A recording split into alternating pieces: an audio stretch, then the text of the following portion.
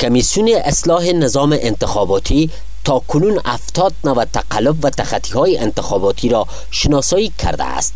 و نخستین طرح پیشنهادی خود را نیز به حکومت ارائه کرده است.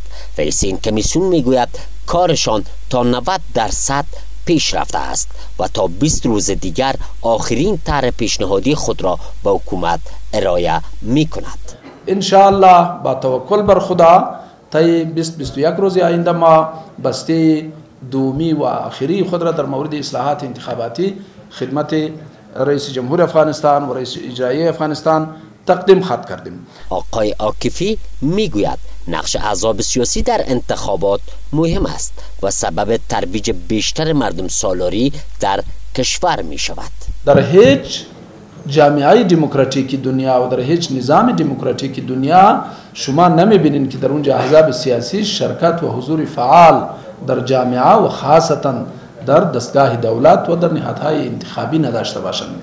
از سوی دیگر در طرح پیشنهادی کمیسیون اصلاح نظام انتخاباتی برای زنان در شوراهای ولایتی و شوراهای ولسوالی 25 درصد سم در نظر گرفته شده است. کمیسیون به اتفاق آرا پذیرفتند که باید سم زنان در شوراهای ولایتی از 20 فیصد و 25 فیصد ارتقا پیدا بکنه زیاد برش بیایه و در شوراهای ولسوالی که صفر بود و هیچ قیدی در قانون نامده بود او هم به اثر سیستم کوتا یا تبعیض مثبت 25 فیصد پیشنهاد شد. رئیس کمیسیون اصلاح نظام انتخاباتی از حکومت می خواهد پیشنهادهای این کمیسیون را برای اصلاحات در نظام انتخاباتی و جلوگیری از تقلب و تخطی های انتخاباتی عملی کند.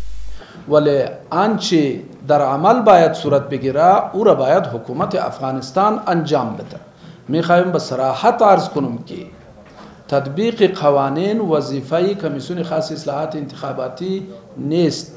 تطبیق قوانین وظیفه حکومت افغانستان است وظیفه قوه اجرایی افغانستان است که باید او را قدم به قدم بخیر در هر عرصه دیگر زندگی ما و شما و خاصتا در امور انتخابات انجام بدن. این کمیسیون نیز در طرح پیشنهادی خود برای جلوگیری از تقلب و تخطی های انتخاباتی پیشنهاد کرده است که افراد متقلب در انتخابات باید مورد پیگرد عدلی و قضایی قرار گیرند.